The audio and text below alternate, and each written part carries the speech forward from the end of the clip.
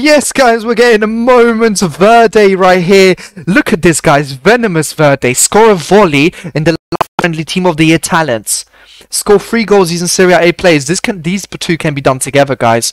Win four matches. Score in eleven separate matches with players with minimum four star skill moves.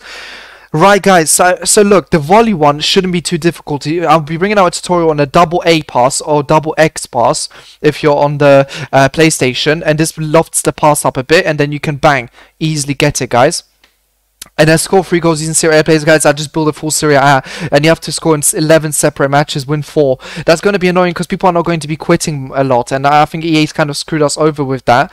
Um, because if people don't quit, it just makes it such a painfully long thing to do. But guys, I would focus on the volley with the double A or the double X pass. That's the best way to do it. And then at the same time, guys, I would make sure Let's have a little look at this.